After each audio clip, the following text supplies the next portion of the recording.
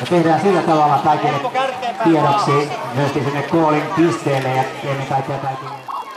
Toisella yrittämällä päästään liikkeelle ja täältä näyttäisi, että radalta kaksi Uljanin Loppuun tulee maaliin ensimmäisenä. Vauhdikkaasti lähdettiin matkaan